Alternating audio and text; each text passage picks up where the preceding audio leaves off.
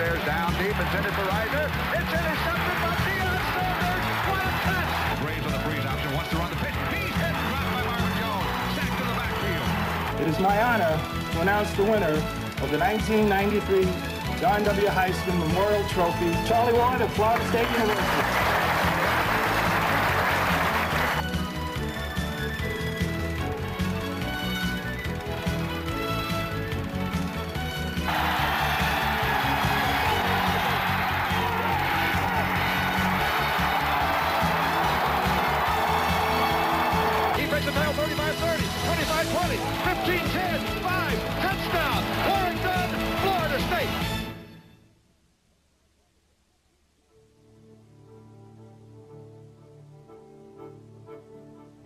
1946, Florida State University had no stadium, had no uniforms or helmets, had no coach, and didn't have a football team. Then in 1947, a mere six weeks after the decision to play college football was announced, the Florida State football program was born amidst the dimly lit lights of what used to be Centennial Field. Virtually overnight, a dream became reality with the first game versus Stetson. From those humble beginnings, Florida State has grown into a major college football powerhouse, achieving several milestones along the way. The Seminoles became the first team in the state of Florida to go to a bowl in 1950 and to play in an out-of-state bowl game, traveling to El Paso for the 1955 Sun Bowl. In 1993, the Seminoles became the only football program started after World War II to win a national championship. Currently, the Seminoles have finished in the Associated Press top four a record nine straight years and have one of the finest bowl records in the land. Year in and year out, the Seminoles are contenders for the national crown. There's no doubt that the first 50 years of Seminole football have been garnet and golden.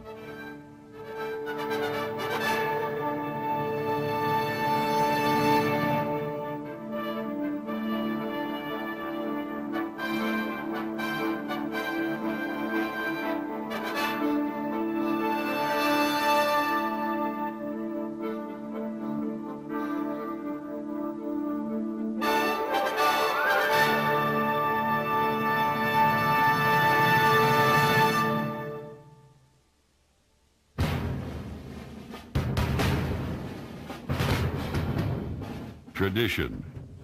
When it comes to college football, the word conjures up images of Knute Rockne, Bear Bryant, no helmet football, and the Army-Navy game. Schools celebrating their 100th year of football boast of a grand tradition. But Florida State, which will begin its 50th year of college football in the fall of 1996, has proven that it doesn't take 100 years to build tradition. All it takes is success. Classic games like Bill Peterson's 1967 squad's 37-37 tie against Bear Bryant and defending national champion Alabama. Or the Seminoles' miraculous 28-point fourth quarter comeback against the Florida Gators in 1994. Legendary coaches like Tom Nugent, who popularized the I formation, or Bobby Bowden, who is one of just two active head coaches with over 250 career victories. Award winners like Florida State's first Little All-American, Hugh Adams, its first consensus All-American, Fred Biletnikoff, or the school's first Heisman Trophy winner, Charlie Ward. Storied seasons, from the first undefeated season of 1950 to the unbeaten 1979 campaign to the national title season of 1993. Many might think a school so young would lack its own legendary figures, but this is far from the truth. In only 50 short years, FSU has amassed their own great traditions. Who will ever forget the shaved heads and ferocious defensive play of the Seven Magnificents, or the impressive upset sprung by the king of the road, Bobby Bowden, or the colorful nicknames associated with All-American play at FSU, like Jingle Joints, Ron Sellers, or Prime Time, Deion Sanders. And while college football is full of symbols, the entire nation knows that Chief Osceola rides tall and wins every race. College football is a consuming passion that binds like no other. It's that passion that ties the five decades of Seminole football to their foundation. Florida State University's tradition might be short on years, but in terms of achievement, All-Americans, bowl success, national award winners, and simply in heart, grit, determination, and pride, Seminole football boasts a tradition few schools can match.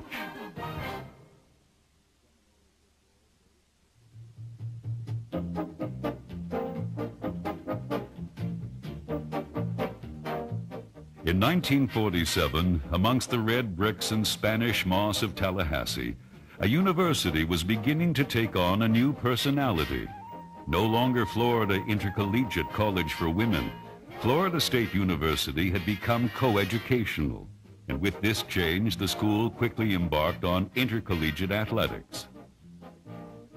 Actually, intercollegiate football was not a complete stranger to Tallahassee. Florida State College played three years of early century football beginning in 1902. In fact, in 1904, the school even won a title, being crowned Florida's state champions. However, Fundamental changes in the higher education system led to the canceling of intercollegiate sports, while the school went on to become one of the nation's finest women's colleges. So, for all intents and purposes, Florida State football, as we know it, was born under the muted lights of Centennial Field on October 18, 1947, against Stetson University. The team was led onto the field that night by head coach Ed Williamson, who served as the school's unpaid intramural director. The football program offered no scholarships, had no team name, no real stadium, and set out to compete with just over a month to prepare for its first ever game. We didn't have any locker rooms. The boys had to dress in, you know, in the barracks that was on West Campus. And um, they uh, dress there. They wash their own uniforms, or the wives wash them if they had a wife. And uh, it just wasn't anything like they have today. Our pants were made out of that hard canvas. Uh, you, you know what I'm talking about, the real. And uh, the pads kind of slipped in there, and they were they were not plastic or, or what do you want to call fiberglass kind of pads today. These things we talk about, they were hard, stiff pads. Shoulder pads were, had very little flex to them. The helmets were made. We, we played probably the first year we played was the last year of the leather helmets. The Garnet and Gold, as they were known on that night, launched a valiant attack to take an early lead before succumbing 14 to 6. Charles McMillan of Quincy, Florida, hauled in the school's first touchdown catch. Well, everybody was waiting with great anticipation. Most of us were on that first squad were just pick up group of young men that wanted to play football. Centennial Field was real crowded that night. The stands were filled. A lot of people were there. A lot of excitement because it was the first intercollegiate game in Tallahassee.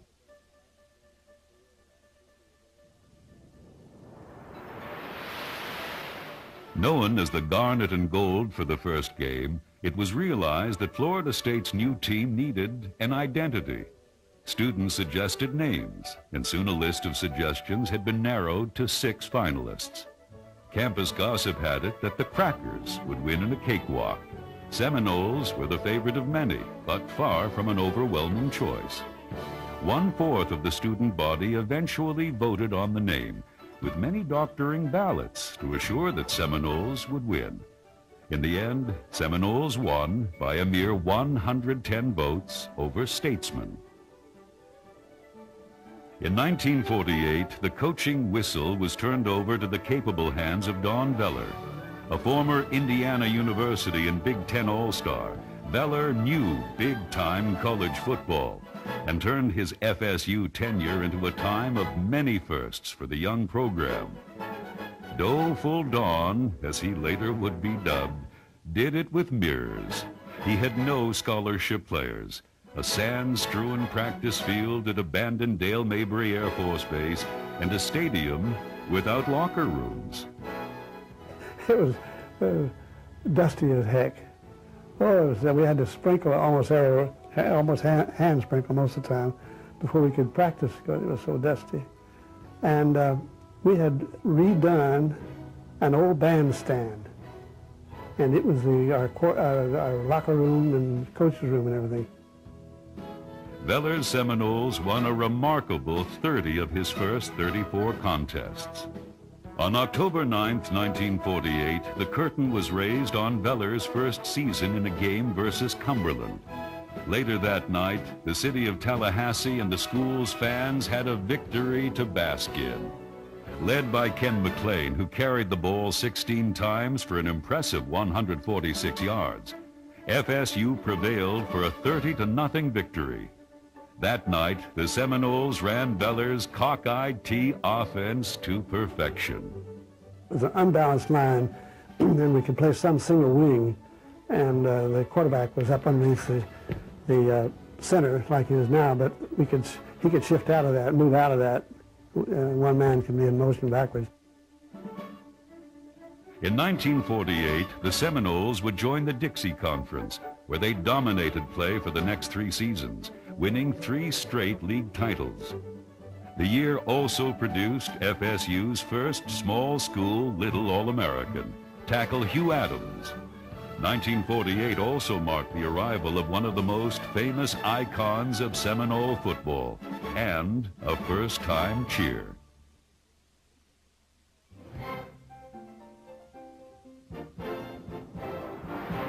Many FSU fans hear the nickname Old Ironsides and assume it refers to a rough and ready player or a stout defensive line. But in Florida State lore, the name refers to the 1942 Beck Motor Coach bus that became the Seminoles' transportation to road games until 1961. We got it in 1948, so it was used all the, during the war years, pretty hot and heavy had a lot of miles on it, and the engine was uh, not in the best shape in the world. It must have had about 300,000 miles when they bought it. They thought they'd buy something real great, but it would, it would break down every time we would get out. Almost every time we'd have to go out and push it.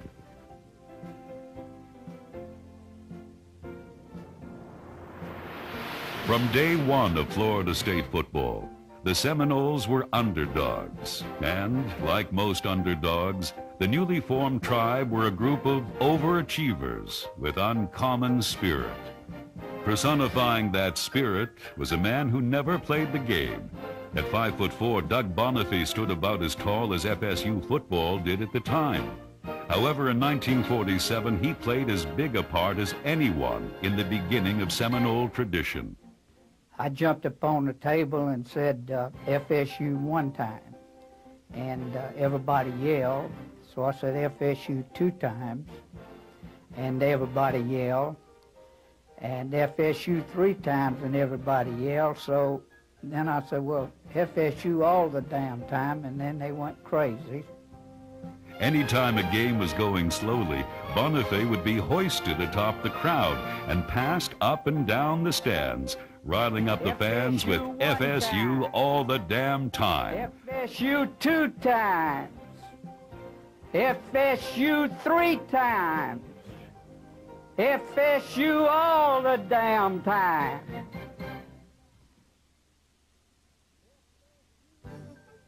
Nineteen forty-nine will best be remembered for three things. In a contest against Whiting Field, FSU produced one of the most productive quarters in school history. The tribe's offense exploded for five touchdowns in the second period, en route to a blowout 74 to nothing victory. The coach at uh, Great Lakes Naval uh, Training Station, which was one, had another football powerhouse, the guy called me right after and said, uh, "Can you give me a report on Whiting Field?" And I said, "No," I said, "I can't. I I can't tell you." I said, "They're so bad that that you you don't need any scouting notes." anyhow, that following weekend they played them, and Whiting Field beat Great Lakes, and I, I was so embarrassed.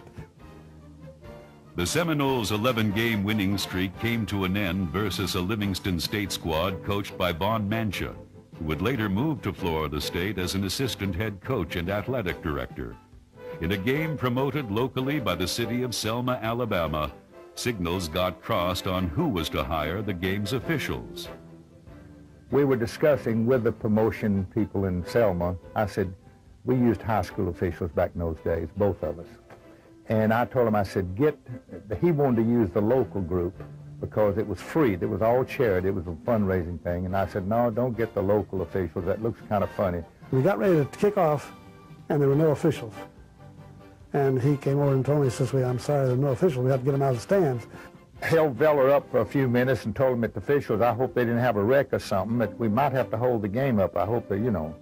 They finally got some officials, some people out of the stands. And uh, they weren't crooked. They just didn't call anything. Veller never accepted it. He felt like we'd framed him on the official. Well, then he hired me later on, as you know, and, and um, of course I told him one day that, well, unfortunately about that, it was about four of those officials played with me at Alabama.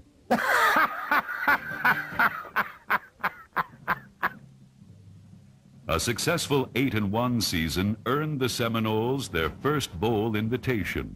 The Cigar Bowl would match Florida State against Wofford, winners of 23 straight contests.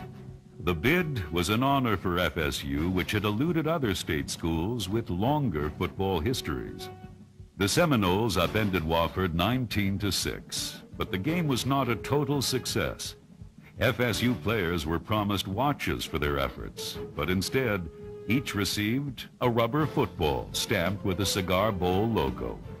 To make matters worse, several players spotted those same footballs in local Tampa stores, selling for 39 cents. By the time the 1950 season rolled around, FSU was beginning to outgrow previous opponents. If Florida State was to play big-time college football, it would need a big-time college football stadium. Tallahassee businessman Rainey Cawthon and members of the Tallahassee Athletic Council sold 1,000 five-year season ticket packages to help finance a stadium. On October 28, 1950, Doak S. Campbell Stadium was dedicated in honor of the university president who fought as hard as anyone to establish the program. A new stadium wasn't the only highlight of that homecoming night. FSU also got itself a fight song. In a contest to name the school band, FSU student Pat Gunno's entry of Marching Chiefs was proclaimed the winner, and the Chiefs were introduced that evening for the first time. They introduced a song that will always spark emotions in the hearts of Seminole fans. The Seminole fight song featured words by class of 1950 alumnus Doug Alley and an arrangement by professor of music Tommy Wright. With the ingredients for tradition being added to the mix, the 1950 team went undefeated, a first for Florida State. The famed Ice Bowl versus Tampa, with game time temperatures in Tallahassee as low as 12 degrees, would conclude the unblemished run.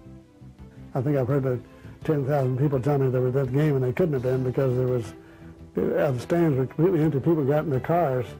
The contest was tied at 13 entering the fourth quarter before FSU erupted for the 35-19 win. With the win, FSU claimed yet another Dixie Conference championship. The 1950 season also gave Seminole faithful a look at a young Howard quarterback that would later return to FSU to make quite a name for himself, Bobby Bowden. 1951 and 52 were transition years into big-time college football. FSU withdrew from the undefeated comfort of the Dixie Conference and added teams like the Miami Hurricanes. Miami became the first national opponent to play the tribe establishing an excitement-filled rivalry that remains FSU's oldest to this day.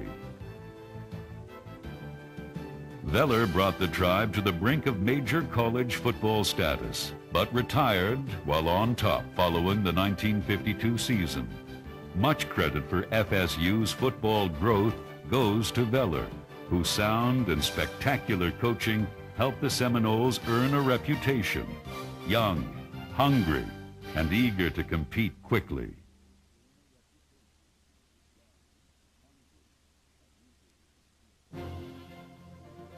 Nineteen fifty-three was a year of change for FSU, And the man who would lead the tribe into the world of major college football was Tom Nugent.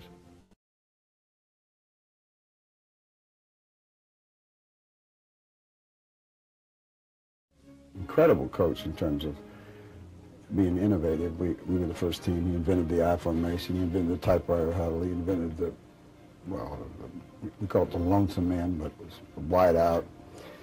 And uh, we also practiced the huddle more than we practiced football. We had a great huddle. I used to love to go to practice. And the reason I used to love to go to practice because I couldn't wait to find out what we were going to do new or different under Tom Nugent. Uh, Tom was such an innovator and so enthusiastic about everything he was uh, doing and the direction he was taking, uh, you know, the university. 1953 would be the last year of FSU's small school status. The year would bring a recruit to Tallahassee who was possibly the most valuable of Nugent's tenure. Lee Corso, a Miami native who excelled at quarterback, defensive back, and running back. I, I decided basically, though, to go to Florida State because uh, I thought that I wanted to be able to build something. I wanted to be able to be a part of a starting of a tradition.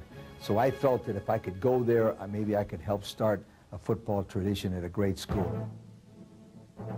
The season began with an early victory versus the Johnny Unitas-led Louisville Cardinals, 59 to nothing.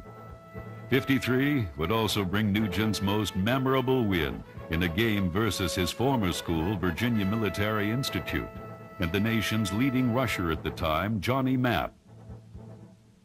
So I told the players, and I put it really to them because I was telling them God's truth, I said, I will never, I promise you, I will never ask my final team, wherever it happens to be, I will never ask them to win a game for me.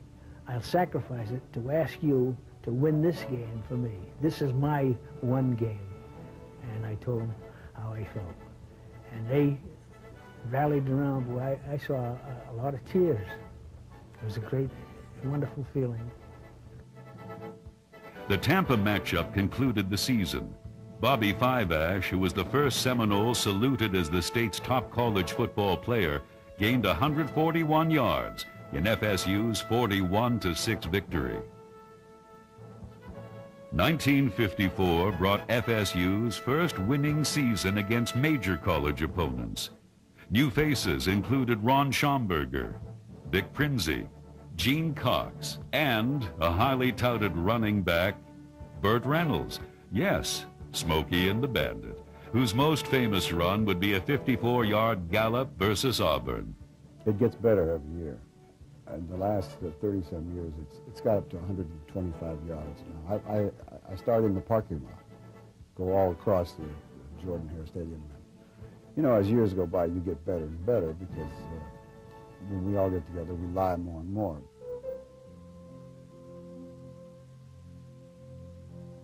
In 1954, Don Falls left his job in the St. Louis Cardinals organization to become head trainer of a young athletic program at Florida State University. When he made his move to Tallahassee, Falls figured the job would be a stepping stone to his great ambition of becoming a head trainer for a Major League Baseball team. However, Falls found that the city of Tallahassee provided the perfect environment in which to raise his three children. And after 27 years of service and over 300 Seminole football games, Falls retired from FSU in 1986. Falls' stature, 5 foot 7 and all of 145 pounds, along with his booming voice, earned him the nickname Rooster among players and co-workers. To some, he also became known as Doc, or Pop, or even Old Man. No matter what you called him, though, Falls was much more than just a trainer. I don't know if there's any one man that has the respect and love of all of the former athletes at Florida State any more than Don because he treated and took care of all of them. He was always there. We could always talk to Don Falls. He was one of the most inspirational men that's ever been at Florida State University, ever. He was such a very, very important person in my life, and I'm sure every athlete that he came in contact with. He was the glue here at Florida State. And he is a person who I call an icon at Florida State. And God, I miss him. As the most recognizable link from Seminole football past to Seminole football present, Falls is remembered as one of the most popular men ever connected with Florida State athletics.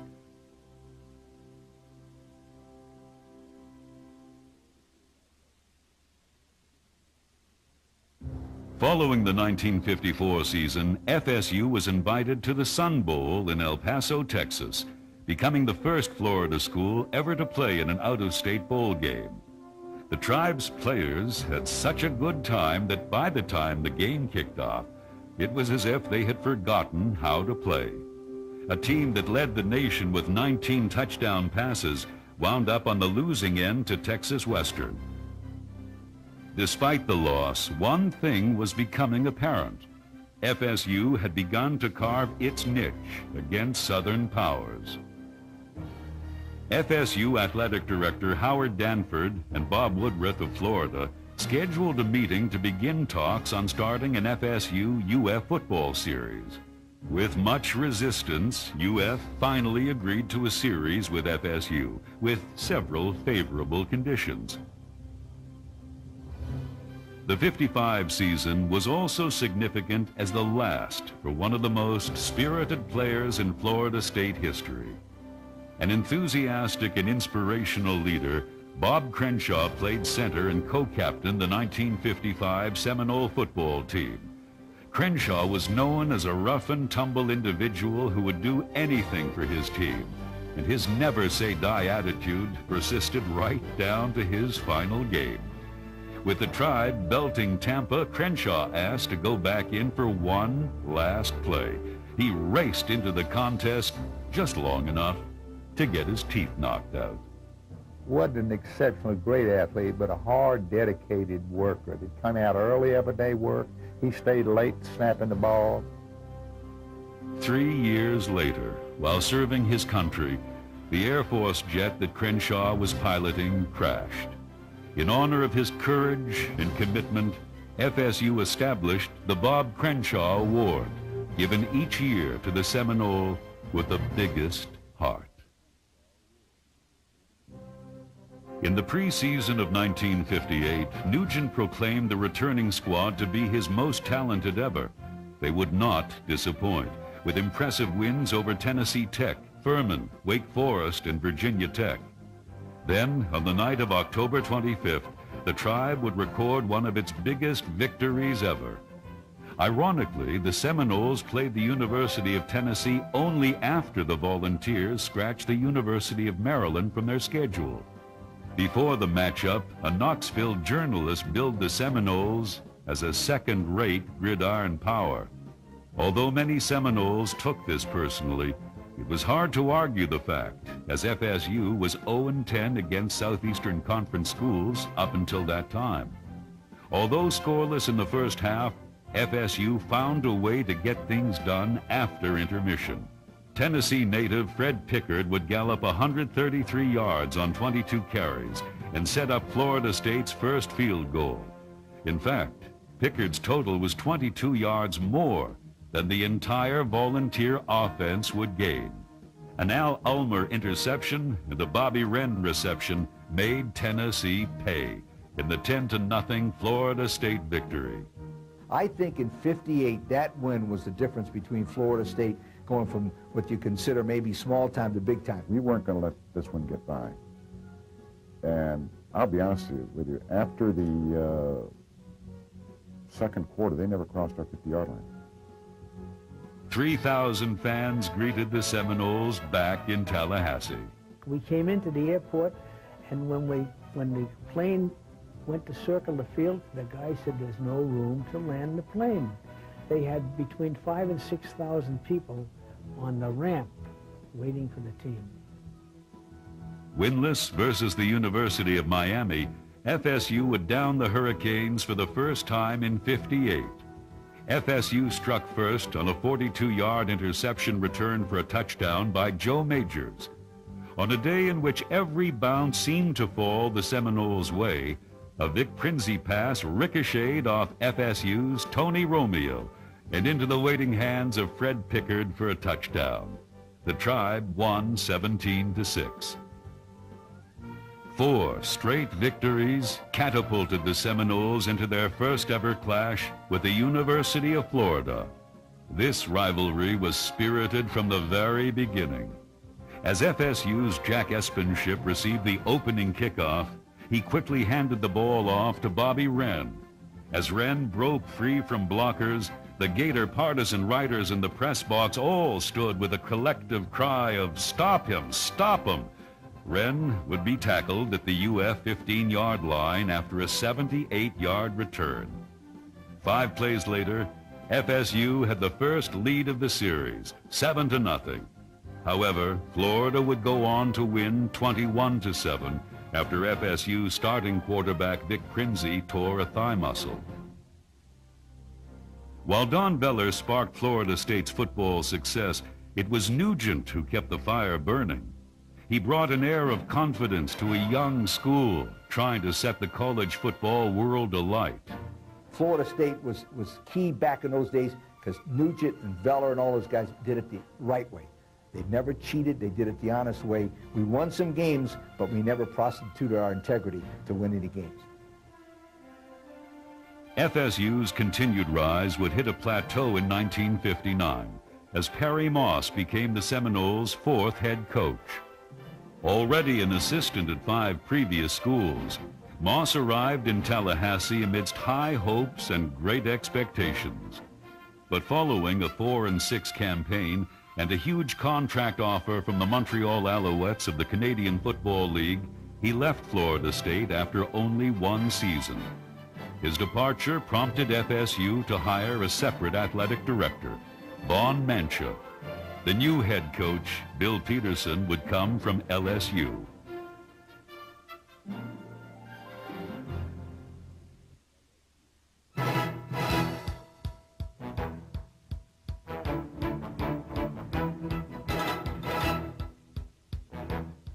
In 1960, Bill Peterson brought a flashy passing game to Tallahassee and an 11-year reign of success. Just three games into his first season, speculation among state writers was that Florida State would never be able to keep Peterson for any length of time. How wrong they were. In fact, by the end of his term, the whole nation would hear of FSU. In his final five years, FSU threw the ball more consistently and effectively than any other team in the nation. Coach Peterson was fantastic if you're a wide receiver. If you were running back, he wasn't the best to play for. And since I was a wide receiver, he was great because we, uh, we had uh, an exciting game plan almost every game. Uh, we were going to move the football around. Peterson's style and philosophy helped prepare his assistants for future success at many levels. Among the coaches in Peterson's pipeline were Don James, Gene McDowell, Dan Henning, Joe Gibbs, Bill Parcells, and Bobby Bowden. But Coach Bill Peterson would bring to Florida State something besides a fancy passing game, Petersonisms. Coach Pete had a wonderful way of putting the English language in a verbal blender and then turning out phrases at full speed ahead. Eddie Feely uh, used to give the little prayer before, before we went out on the field, before a game. And, uh, you know, Coach Pete said one time, he said, you know, Eddie, I'll take over the prayer. So he goes, as I lay me down to sleep. And he goes, Feely, Feely, take over, take over, you know. Or we are going in a, in a, in a four, in a four-plane engine and that type of deal on our trips. But that was just Pete, you know, that was just Bill. And, he, you know, his mind was always ahead, you know, always a step ahead of himself, you know. So uh, little things that he always did, you know, we just kind of laughed and just let go. But one thing was obvious following the 60 season. The rapid turnover of the previous two years had left FSU with a lack of solid players. Recruiting intensified, and some great names would soon grace the campus.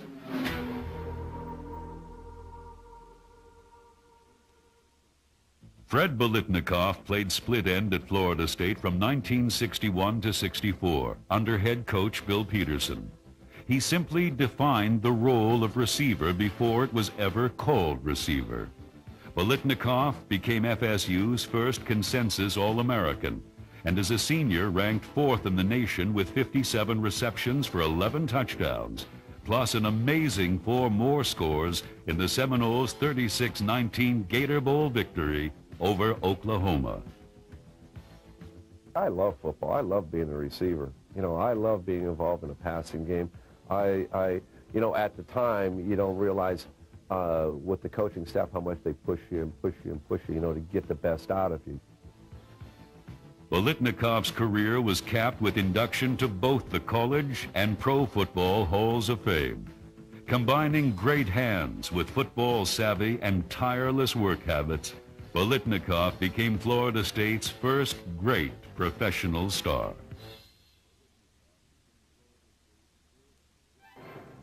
In only their fourth attempt against the University of Florida, the Seminoles would grab the biggest moral victory in school history. In a game that Gator head coach Ray Graves would liken to a death in the family, FSU battled to a 3-3 tie. The two touchdown favorite Gators were held in check by an impressive Florida State defensive effort. Roy Bickford, the game's MVP, would grab two interceptions and block a punt to set up FSU's lone score. Action after the game was just as intense. FSU fans charged the field and attempted to tear down the goalposts. UF fans, trying to protect their home field, guarded them as a wild 30-minute melee erupted. Clearly, the Gators' dominance was on shaky ground. The 1962 season offered a prime example of how tough it was early on for the Seminoles to schedule opponents on a fair basis. With only four games slated for the friendly confines of Doak Campbell Stadium, this squad would have to be a gritty bunch just to survive. And gritty they were. The Georgia Bulldogs, with their top 10 ranked offense and defense, and a vengeful attitude, sought to spoil FSU's hot start in Athens amid increased speculation that Florida State wished to join the Southeastern Conference. FSU would tally five interceptions on this day and begin to take its place among the big-time programs of the South. The Big Road victory also started another Seminole tradition. In 1962, Seminole football captains returned home with a piece of sod from Sanford Stadium as a trophy from Florida State's 18-0 victory over the University of Georgia. It was presented to Dean Coyle E. Moore, who then founded the tradition of the Sod Cemetery. The treasured turf was buried in the corner of FSU's practice field, and a monument was placed to commemorate the road victory. Sod games represent difficult battles, away from home, against the crowd, against all odds. In the most trying of circumstances, some of the most courageous victories have been achieved. The highlight of the 1963 season was an early humbling of a highly touted Miami team led by George Mira, 24 to nothing. The seeds of change were planted during 1963. However, those fruits would not totally ripen until 1964.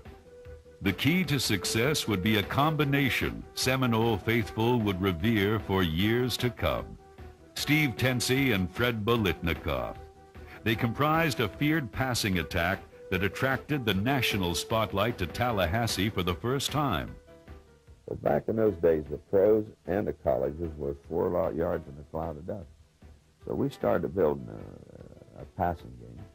And uh, finally, when we got the right personnel, in Tensi and, and Biletnikoff, it was like steel. Their passing perfection remains the standard many Seminole fans measure by. But looking back on that bright 64 season, it was a group of rugged defenders who got FSU off on the right foot.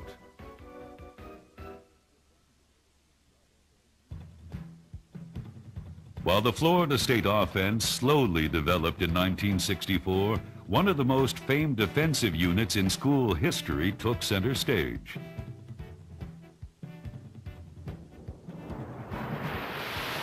Their symbol, the shaved head, was a takeoff from the movie The Magnificent Seven, in emulation of star Yul Brynner.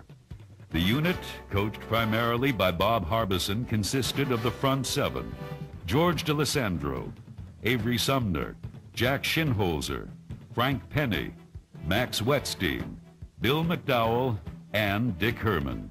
One of them sneaked up behind me with a razor, and all I saw was all my hair falling over into my lap. And I said, go ahead, let's do it. They wanted to make a commitment. Cut all our hair off, and let's be the Magnificent Seven. Let's be a bunch of bald-headed guys, but let's have that camaraderie, that bond. We'll, we won't let our hair grow. We're going to go out there and be a formidable foe. The defensive front received so much acclaim that the defensive backs would later dub themselves the Forgotten Four. As a testimonial to their effectiveness, the Seven Magnificents and Forgotten Four allowed only 66 points the entire season and recorded four shutouts. They finished as the nation's third-ranked rushing defense and fifth in total defense. The 64 season opened on a splendid note as Fred Biletnikoff's nine catches for 165 yards and two TDs led FSU to a 14 to nothing shutout of the Miami Hurricanes. The Seminoles were off to a good start, but they would have to slay a bigger foe if they were to gain national respect. Kentucky brought that opportunity to Tallahassee for a homecoming affair. The Wildcats, undefeated and ranked fifth nationally after victories over Auburn and number one Ole Miss, were no typical homecoming clown. But the tribe made them look like one. In a landmark victory for FSU, one labeled among the biggest upsets of all time according to the Dunkel Index, FSU blasted Kentucky 48 to 6. With the victory, FSU jumped to number 10 in the AP poll, their first ranking ever. On November 21st, 1964, the atmosphere was electric. The moment had finally arrived. The Gators came to Tallahassee for the first time ever. This game would never have taken place in Campbell Stadium without the dedication of Vaughn Mancha and Dean Mode Stone. We decided, with Dean Moore, Dean Stone, and myself, we would go to Gainesville, meet with their vice president and their athletic board chairman, and Ray Graves to see if we can't work this dilemma out about a home and home. Dean Stone, after about an hour and a half or two hours of coffee drinking and arguing about across the table, Dean Moore reached over and said, Mr. Graves, how many seats will it take you to get you to get Tallahassee two years from now? Ray said, well, well, Vaughn, I, I tell you, I think it'd take at least 40, 45,000 seats Dean Moore jumped up, put his hand across the table, said, all right, you got it. Motivation, as if the tribe needed any, was provided when the Gators practiced all week long in jerseys with the inscription, Never FSU, Never. On game day, UF swaggered onto the field with jerseys reading, Go for seven, as in their seventh straight victory over the Seminoles. Big mistake the game they went in there and they said, never, FSU, never. You'll never beat us. Well, little brother had grown up, and they knew it. Following a Florida State fumble, the Gators looked to capitalize early. But with their backs against the wall, the Seminole defense stood proud like so many times that season. Jack Shinholser forced a fumble. George D'Alessandro recovered to set the tone for the entire day. In the second half, Biletnikoff sailed past two Florida defenders and was wide open for a 55-yard TD reception. Untouched and undaunted, Fred jumped into the end zone for the score. Florida reserve quarterback Steve Spurrier would later try to salvage a comeback, but to no avail. FSU would win this one 16 to 7. Coupled with the earlier victory over Miami, the victory garnered Florida State its first state championship. We were expected to lose. You know, nobody expected us to beat them. And we went out there and we were just physical with them. The win also helped FSU secure a major bowl bid in just the 18th year of the Seminole program. The Gator Bowl would be a matchup of striking contrasts. Oklahoma with its powerful running game against Florida State with its dazzling passing attack. The winningest team over the past 18 years versus the newest team to crash the national rankings we went down there and oh the awesomeness of Oklahoma. They had everybody was an all-American in Oklahoma, University of Oklahoma. And here again, we were we might have been a little bit intimidated, but then again, we knew we were good. I don't think we even knew what what tradition was. You know, and we played a lot of teams with a lot of, with a lot of tradition that year, including the Gator Bowl team, uh, Oklahoma. That you know, it didn't make any difference to us. We didn't know the Seminoles would kick tradition in the head while posting some memorable numbers. Tensi, 23 of 36, 303 yards and five touchdowns. Biletnikoff, 13 receptions, 191 yards and four touchdowns. Together, the dynamic duo set seven Gator Bowl records and were named co-MVPs of the contest. Offensively, Oklahoma hadn't, you know, being in that conference that they were in, they never played against a passing team. All of a sudden, they had to play against somebody that's throwing the ball 30 or 40 times a game, and they just were never ready for it, you know. And so we just went out there and just took the game to them throwing. FSU crushed Oklahoma 36-19 in a game not as close as the score might indicate. FSU finished that 64 season with a 9-1-1 record a number 10 national ranking, and 34 new school records. We're just a bunch of guys that wanted to play football, love football. We came down here uh, involved in a program that was kind of a growing program. So we, all of a sudden, we pop up in collegiate football, we got a heck of a team. You know, and all of a sudden we're setting records, we're beating this team, we beat Florida, we're going to the Gator Bowl, we beat Oklahoma, that type of thing and all of a sudden we, we get to be part of Florida State history. They thought they could beat anybody. You know, there was just no question about that. They uh, they had confidence and they worked hard. FSU's fourth straight victory over Georgia highlighted the 1965 season, which also produced the school's first 100-yard touchdown play. T.K. Wetherell, who later became a key member of the Florida legislature, took a Bill Moreman lateral on a kickoff versus Kentucky and sprinted for a score that still stands in the FSU record book.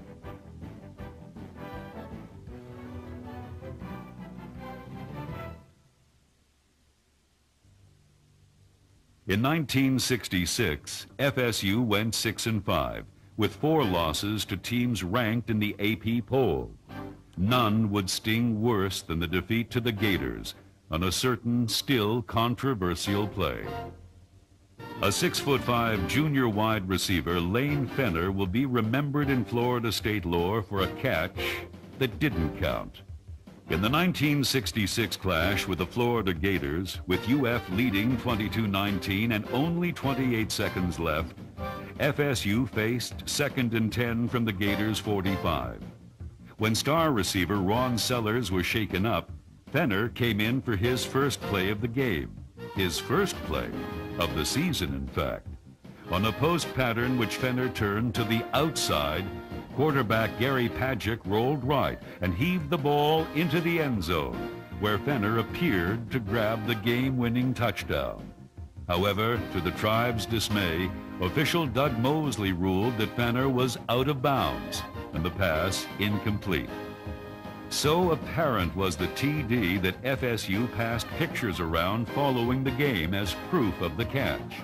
I can remember Lane catching the ball without a doubt, no question at all, and the ref was running down the sideline signaling touchdown. And he got down there, and there were one or two Gator players that were signaling he was out of bounds. And by the time he had gotten there, he had changed his mind and said he was out of bounds. 1967 was similar to many previous ones at Florida State. The Seminoles' oldest and most persistent concern was depth. But two games against traditional power showed that depth was not always needed on a team stocked with heart and determination. Following the tribe's season opening loss to the Houston Cougars, Alabama awaited in Birmingham, defending national champions and winners of 21 consecutive contests. Pete was trying to get us fired up, and uh, he made some comments to the fact that they were no different than we were. I mean, they had two arms, two legs. They put their pants on the same way we did, one leg at a time. Three touchdown underdogs were the Seminoles in a game that was to be televised as part of an ABC Sports documentary on legendary Alabama coach Bear Bryant.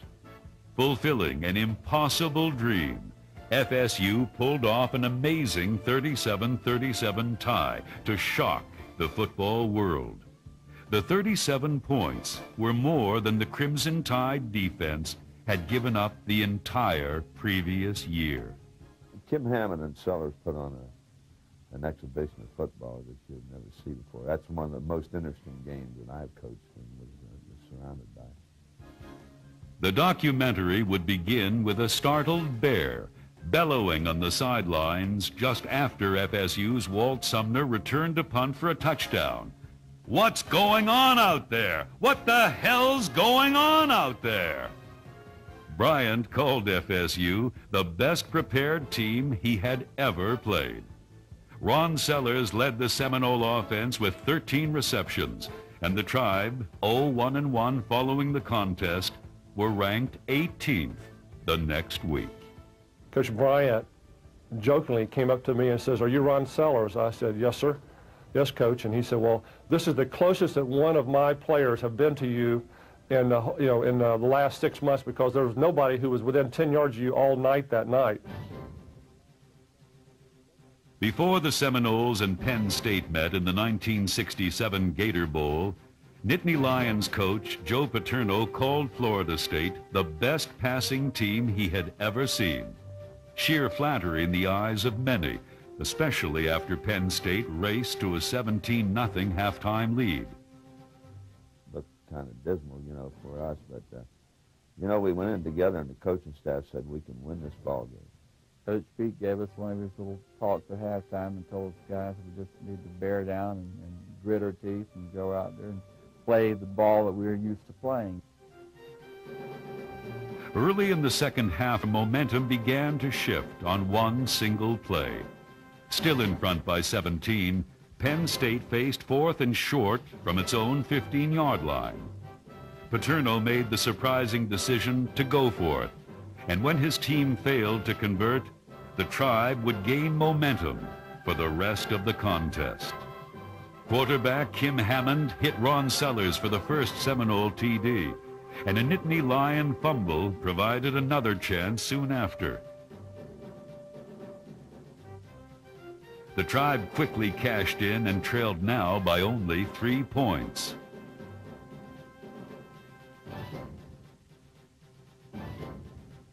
With less than 30 seconds remaining and fourth and goal at the Penn State 8, FSU tied the game on a Mark Guthrie field goal.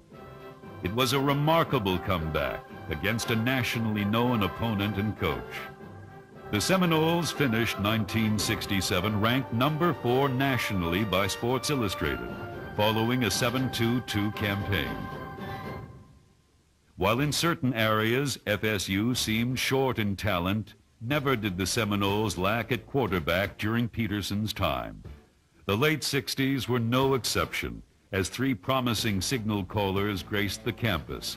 Bill Cappleman, Kim Hammond, and Gary Pajcic took turns lighting up the Seminole skyline, with most of their tosses going to celebrated wide receiver Ron Sellers.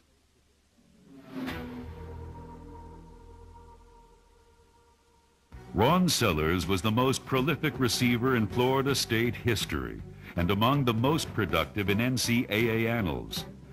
In fact, Jingle Joints held most of the national receiving records from the end of his senior season in 1968 until 1987. They said I was kind of elusive a little bit, but I was bow-legged as they come.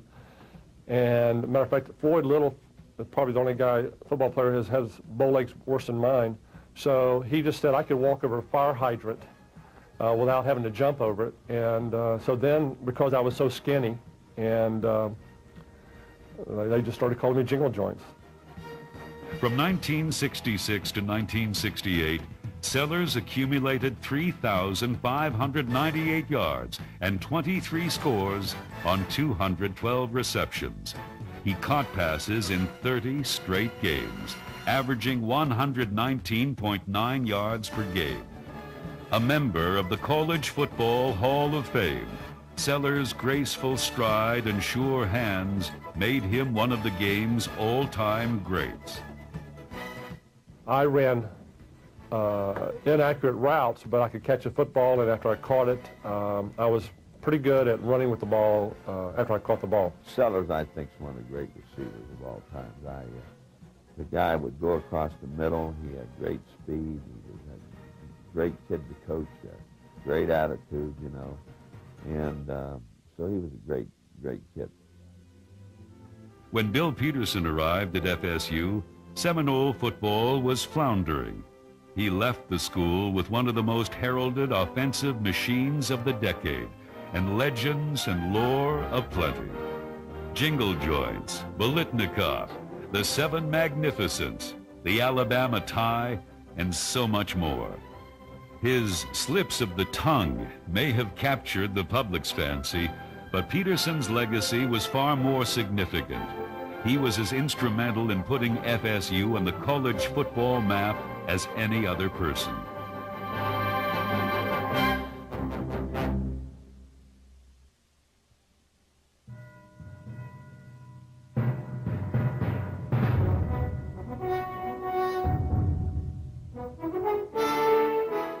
post-Peterson era began on a bright note and was highlighted by the individual performances of several Seminole stalwarts.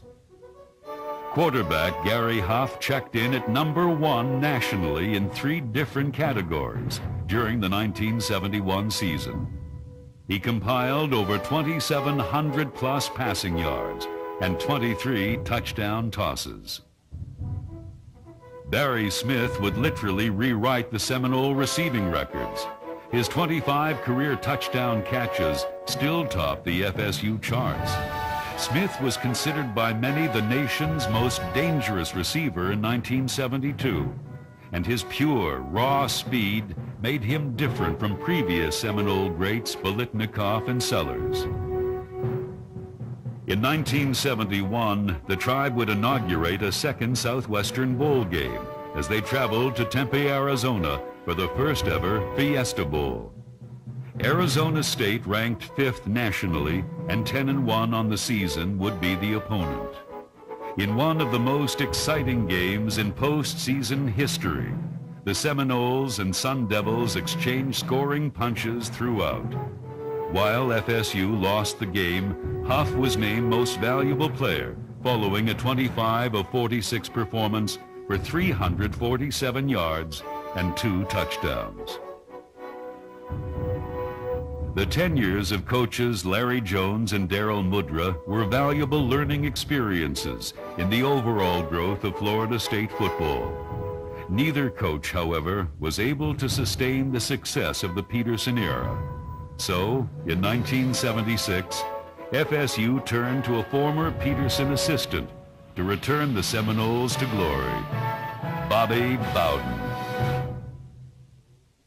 Prior to Bowden's arrival, FSU President Stanley Marshall and Athletic Director Clay Stapleton were making what they considered a bold effort to crack into big-time college football. Their wisdom dictated that the Seminoles should schedule bigger games versus bigger teams at their home sites in order to gain more national exposure.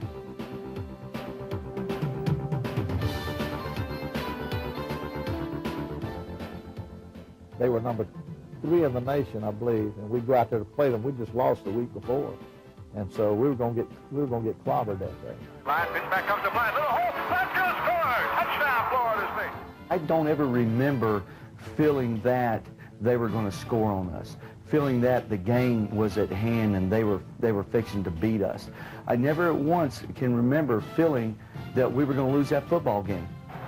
And Roger Craig, he's going to roll toward his right side. Borowski. Borowski's going to trap him. He loses the football. The Seminoles are going to fall on it. Florida State's come up with it. They own the football in the ball game. Seminoles recover the twin fumble. Borowski. I always felt like you know, that was our greatest win away from home. At that, no, no, back in those days, nobody beat Nebraska there, even Oklahoma.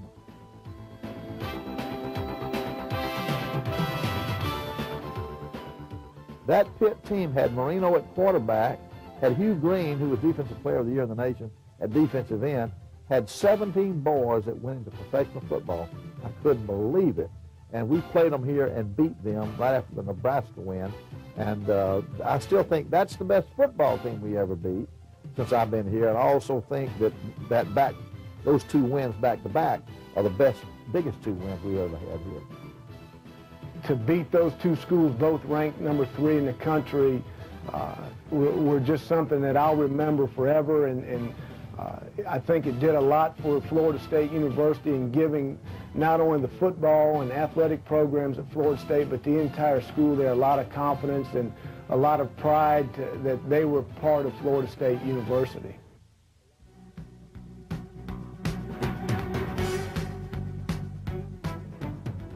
Ohio State, we beat, played them in 1981 and 82 there. Another one of those deals where no return game. You got to come up here and let us beat you. But uh, we go up there and beat them. And those are two big wins. Because I I think Ohio State played in the Rose Bowl maybe both years. You know, but we beat them up there, and that was that'll always be a big win to us. I, I still run a lot of Ohio people that, that were there that day that couldn't believe we beat them. Anybody who studies the history of college football and the success of college football from the very beginning, I think it all goes right back to Notre Dame, who is still the number one prestigious university in college football in the nation, you know. And so for us to go there in 1981 and play them, where all those great Notre Dame players had come from, and me as a coach could remember the history of it, my coaches could remember it, and to go in that dressing room where Knute Rockne used to be, you know, and, and things like that, knowing all the great teams that had played there. And then for then on top of that, not only did you get to play them there, but you beat them in their own backyard.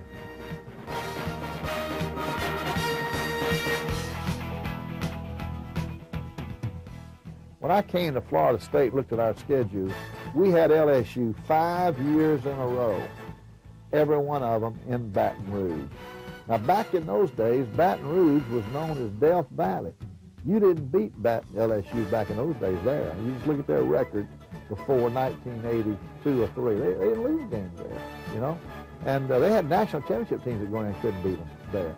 And so it was kind of a suicide type of thing. We, it was a game that was scheduled before I got here to raise money because we were losing a lot of money. And so, but now the thing about it, we go there and beat them four out of five. Then had to play them there again next year and beat them another time. We beat them five out of six. So that really helped put us on the map. And for some reason, we had their number. You know, you know how Miami's always had our number? Seems like we always had LSU's number.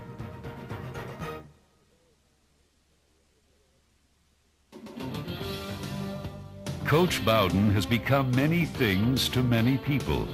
He has been quoted, paraphrased, and quoted again. Indeed, Bowden is a true Southern gentleman in every sense of the phrase. Folksy, polite, and quite often downright hysterical.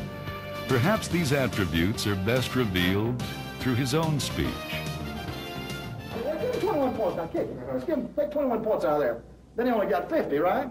I mean, we're doing better than you think. There was, no, there was another reception I was in. This time everybody was dressed. There's a lady sitting next to me, a Polish lady, and uh, she was pregnant. I asked her, I said, you're pregnant, aren't you? She said, yeah, but it ain't mine. yeah. Cause we're Seminoles of FSU.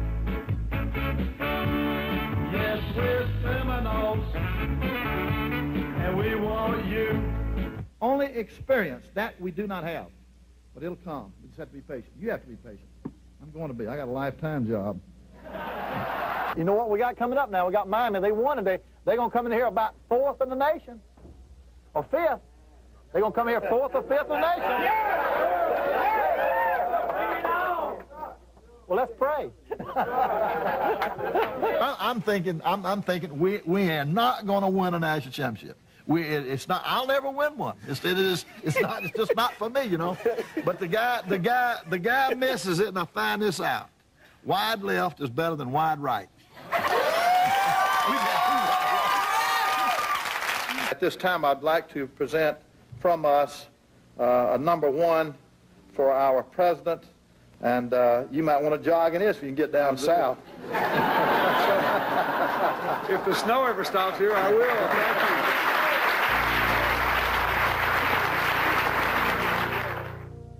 While Bowden's personality draws attention to his team and his players, nothing can fire up a crowd more than a strong, proud mascot. And Florida State has one of the best. One of the most symbolic and significant traditions at FSU, Chief Osceola and Renegade made their first appearance September 16, 1978, when FSU faced Oklahoma State. Today, Chief Osceola, a Florida State student, dresses in a traditional costume made and donated by the Seminole Indian tribe of Florida. Hoisting a flaming spear atop the spirited Appaloosa Bay horse called Renegade, Chief Osceola leads the tribe onto the field before every home game. Then, Renegade gallops to midfield, carried by the roars of the Seminole faithful, rises on his hind legs, and Chief Osceola drives the spear into the Campbell Stadium turf. Seminole fans like to say that when the flaming spear drops, the opponent's luck stops. Throughout Bobby Bowden's tenure as head coach of the Florida State Seminoles, there have been numerous memorable plays and games. Many of Bowden's unforgettable moments involve something a little different.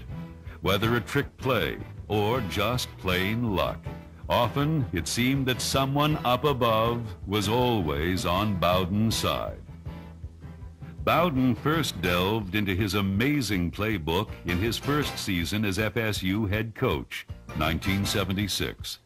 In one three-game stretch, the Seminoles converted four scoring plays of over 90 yards, a feat so rare that the NCAA doesn't even keep statistics on such occurrences.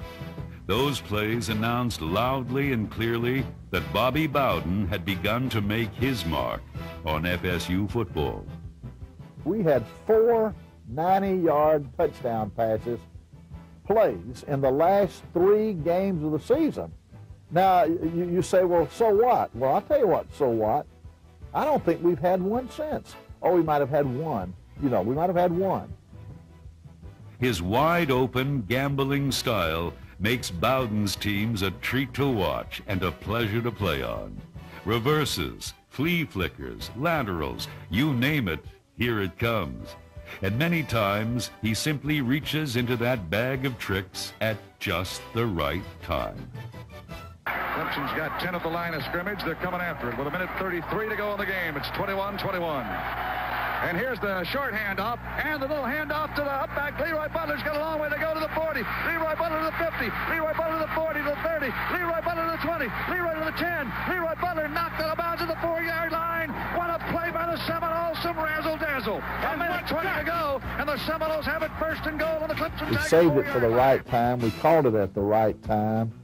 It, it was like drawing to an inside straight. You had to get the right card. It wouldn't work. In other words, they wasn't the exact defense you wanted them in. It wasn't going to work, and they were in it.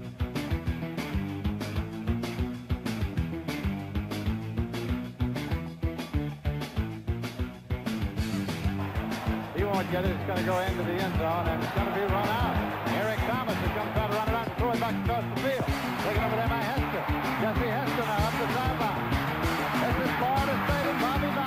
motion, the tight end, Pat Carter, and the toss sweep and the reverse. It goes to Dawsey on the reverse. First play from scrimmage. Dawsey to the 35 to the 40. Dawsey to the 50-yard line. Dawsey to the 45-yard line of Michigan State. Then it goes in motion to the left side. Here's Weldon looking. Throws the ball. It is a lateral to Charlie Ward. Trick play right back across the field to Weldon. Weldon's got the ball. He'll run. Weldon to the 30-yard line. Weldon to the 20-yard line. Weldon to the 15. Weldon to the 11. Fumbles the LSU and the Seminoles have the football. He is two for two in field goals. A big one here. Good snap. Here's the... Oh, pitch goes to the fullback, and the Seminoles have a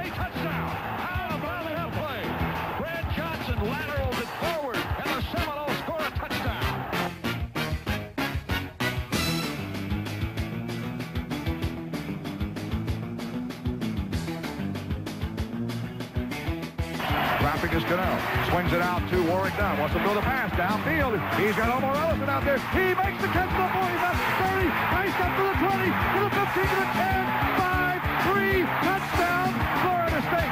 Omar Ellison, halfback pass, Warrick Dunn. There are old sages of the game who say that the true measure of a college football coach is how well he fares in bowl games. By that measuring stick, Bobby Bowden has simply no peers. He's the winningest bowl coach in NCAA history by a mile. Bowden Seminoles have won an NCAA record 11 consecutive bowls and have gone to 14 straight bowls without tasting defeat.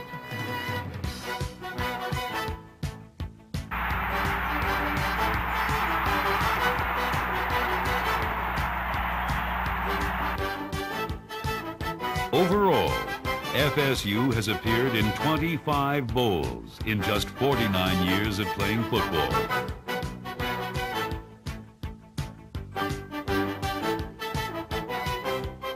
Motivating and challenging his troops to do their best is another Bowden specialty.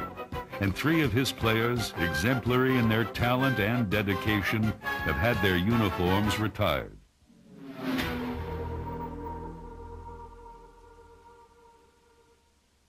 Perhaps the greatest defender in Florida State history.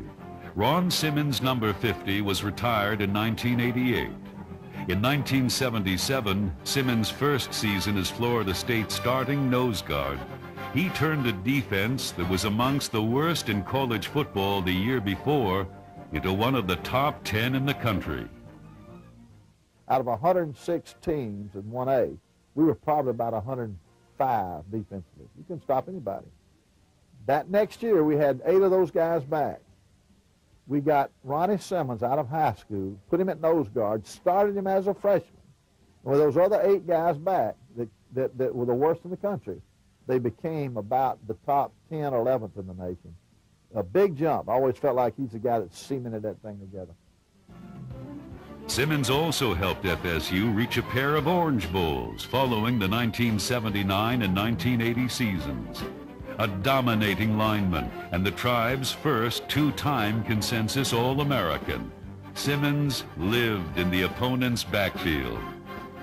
He totaled 25 career quarterback sacks and 44 tackles for loss, both Seminole records.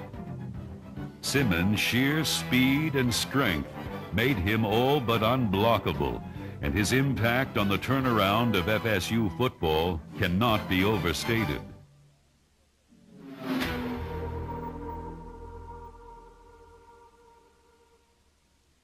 One of the most honored yet humble athletes in the history of college football, Charlie Ward quarterbacked the Seminoles to the 1993 National Championship and set 19 school and 7 ACC records along the way.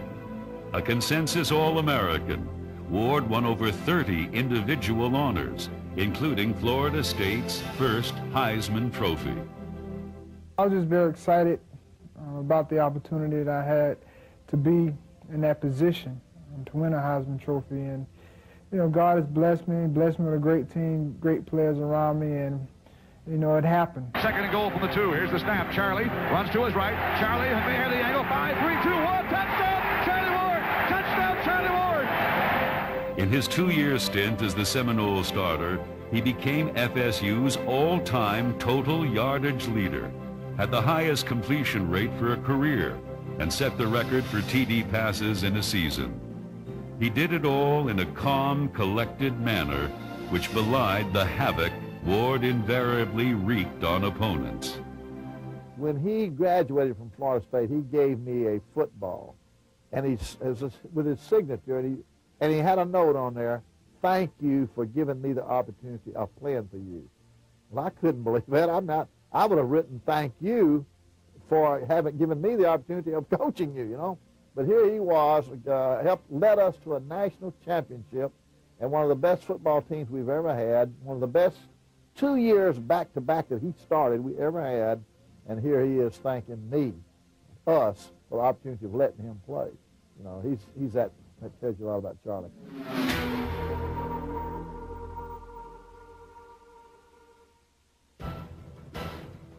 Cornerback Deion Sanders was one of the finest athletes ever to wear a Seminole uniform, winning the Jim Thorpe Award as America's top defensive back in 1988. Beginning in 1985, Sanders gathered 14 interceptions, not including three crucial pickoffs in bowl games. In both his junior and senior seasons, FSU went 11 and 1 with a pair of New Year's Day bowl wins. One of the best athletes we've ever had at Florida State, maybe the best, probably the fastest, great track athlete, great baseball player, great uh, uh, football player, and, and if he says, it, it, the old saying, it, it, it ain't bragging if you can do it, it's Deion. During the 1988 season, Sanders also electrified as the nation's top punt returner, averaging 15.2 yards per attempt. Backpedaling is Sanders. He will field it at 25. Looks for somewhere to come. Comes right up the middle, makes a nice cut. Deion Sanders to the 50. Deion Sanders to the 40. Deion Sanders hurdles to the 30, to the 20. Deion Sanders will score a Seminole touchdown. Florida State, what a run. His 76-yard TD versus Clemson sparked the Noles to victory. While Sanders' flamboyant style captured the public spotlight, it is his work ethic and unique talent that coaches and teammates will remember most.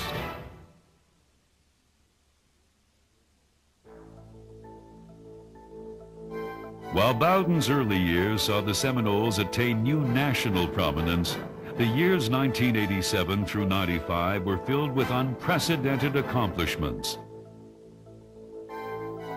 Actually, the groundwork for the success of 87 and beyond was laid in February of 1985 when a recruiting class that included the likes of Deion Sanders, Sammy Smith, Pat Tomberlin, and Odell Haggins signed on to become Seminoles.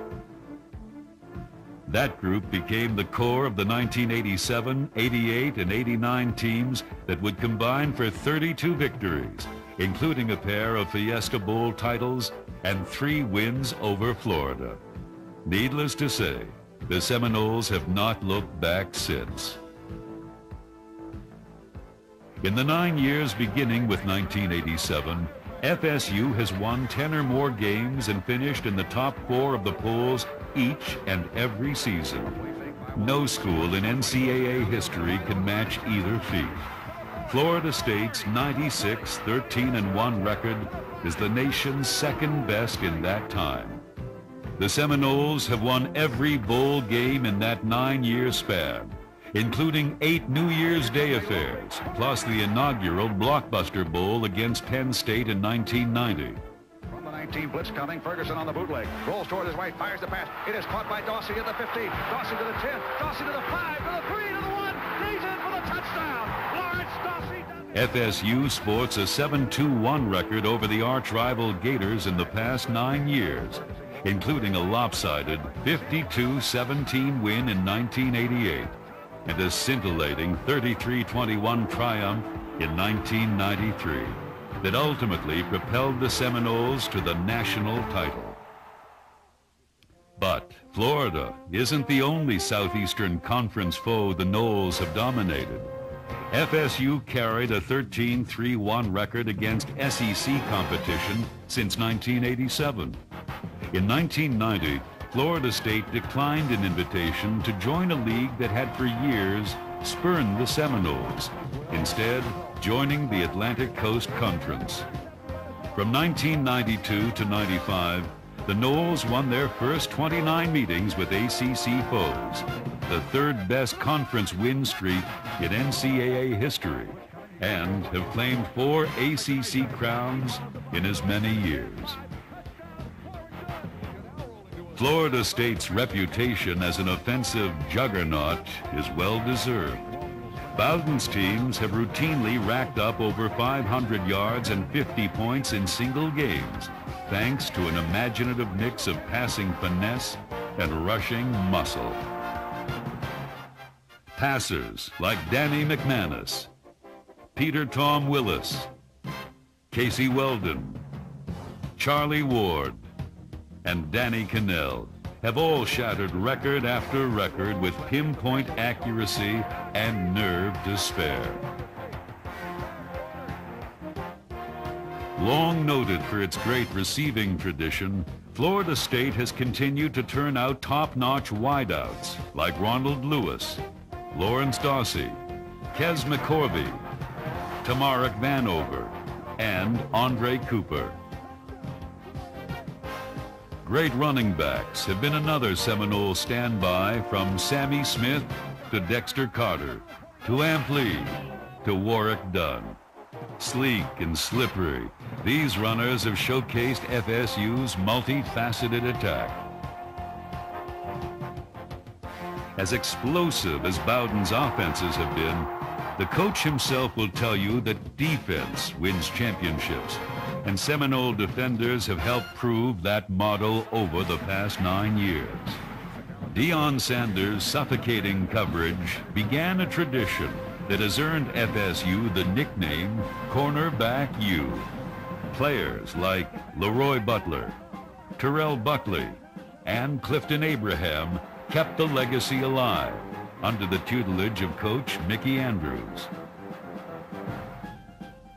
Linebacker Paul McGowan became Florida State's first recipient of the Butkus Award in 1992, an honor claimed by the Austin Marvin Jones five years later.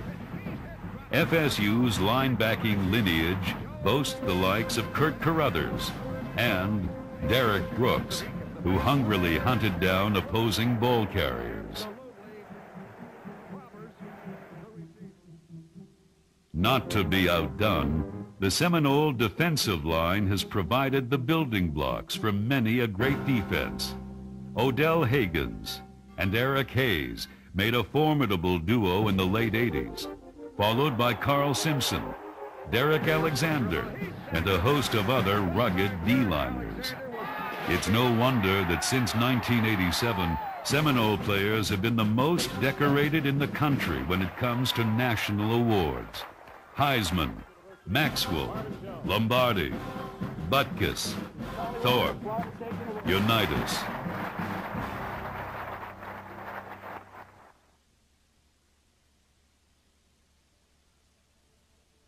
Nebraska may hold the nation's winningest record since 1987, but the Cornhuskers have had no luck against FSU. The Noles have won all four meetings with Nebraska over that span, including a hard-fought 18-16 triumph in the 1994 Orange Bowl for the national title. But the Huskers shouldn't feel bad. The Noles have whipped most comers over the past nine years. Unforgettable victories have included a 51-31 win at Michigan in 1991, in which the Seminoles scored more points than any foe ever in Ann Arbor. touchdown, Florida State.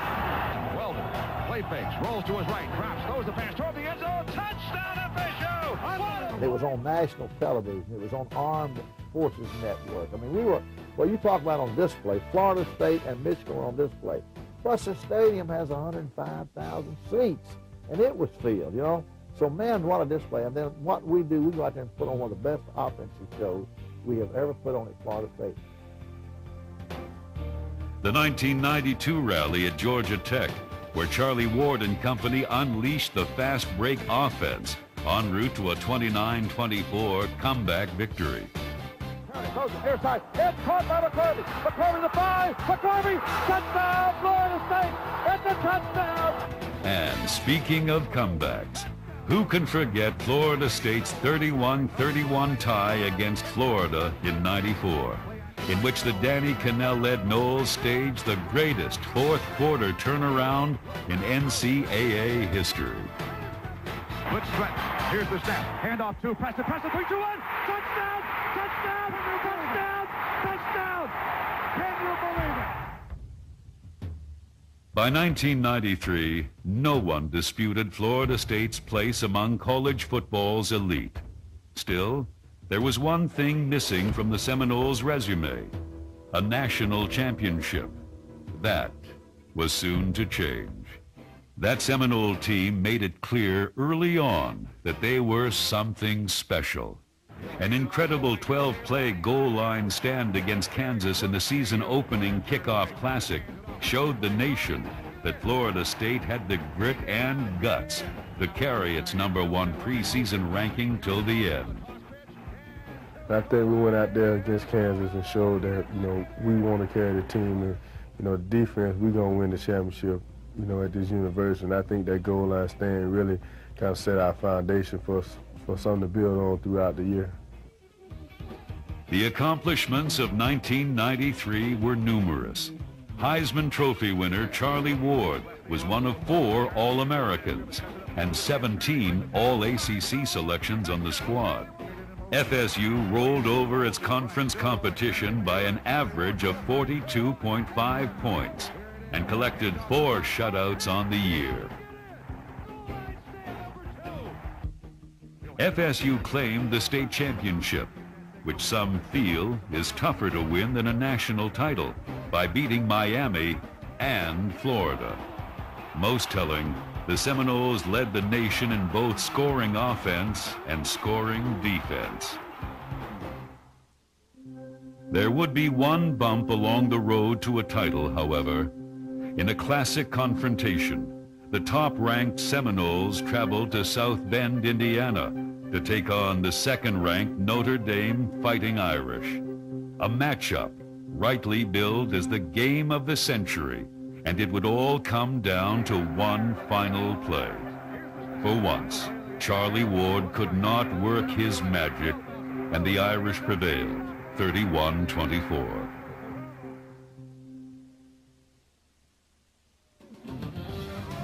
A week later, however, fortune smiled on FSU as Notre Dame lost 41-39 to Boston College.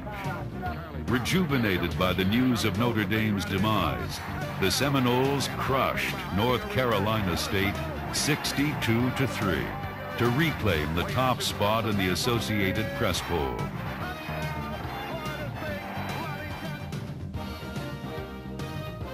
But there was one team that stood between Florida State and a New Year's date with destiny, the Florida Gators. The Seminoles dominated their rivals for three quarters, yet they led by only 26-21 with 5.58 remaining. Facing a critical third down from the FSU 21-yard line, Ward softly lobbed a pass through the Florida field uproar and found freshman Warrick Dunn on the other end. 79 yards later, Dunn was in the end zone, and the Noles were on their way to Miami's Orange Bowl. We're here to get that ring, we? Everything we've worked for right down to now. You know? I mean, you don't want to hold nothing back. You know, you ain't going to hold nothing back, man. Most observers, frankly, expected Florida State to beat Nebraska handily, despite the Cornhuskers' undefeated record and number two AP ranking. But a proud Nebraska squad came ready to fight.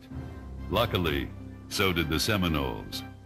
Nebraska took a 7-6 halftime lead, but a William Floyd touchdown plunge gave FSU a 12-7 edge, which Scott Bentley stretched to 15 to 7 with a 39-yard field goal.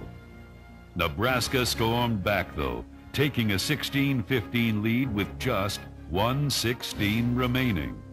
Undaunted, as always, Ward led the Seminoles down the field, quickly gaining the Cornhusker five-yard line.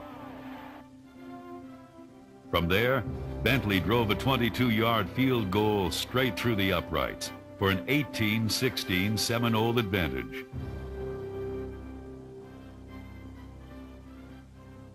The tribe had still to withstand a 45-yard field goal try by Nebraska's Byron Bennett on the game's final play. The kick sailed left, and Bobby Bowden and Florida State had their first national title a mere 47 years after the program's inception. I'm very happy and excited that I was a part of the first national championship team. For the mere fact that they've had so many great teams and uh, it's just a matter of uh, being on the right team at the right time. It was a great year. It was a great ball club. And uh, yet I, I think we had some ball clubs just about as good that didn't win it, but only lost it by one point. But uh, this team deserved to win it, and they, and they, and they did.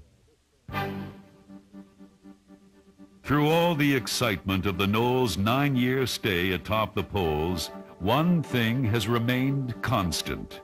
Bobby Bowden. Like the finer things in life, Bowden has simply gotten better with age. And like the Florida State program itself, he's shown a willingness to not just adapt to the times, but to set the trends himself, to battle the heavyweights anywhere, anytime, and to whip them then and there, to lay a solid foundation and then reap the benefits down the road. Bobby Bowden is one of just two active coaches to claim over 250 career victories, and the almost unheard of plateau of 300 wins may well be within his reach. Who knows, Bowden may even surpass his idol, Alabama's Bear Bryant, one day.